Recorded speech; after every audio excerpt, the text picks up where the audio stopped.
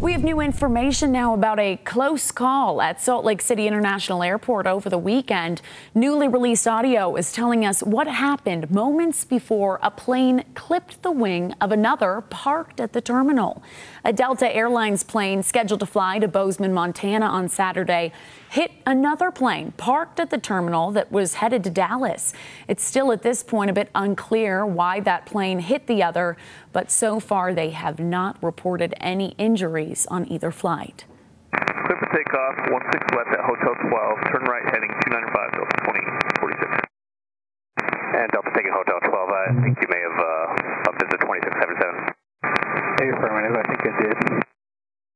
Yep, I can see it on the uh, on the shark fin. A conversation between both planes back and forth there. We're told both flights were delayed overnight and passengers couldn't leave until the next morning. Delta says they plan to continue to investigate to learn more about what happened there in Salt Lake.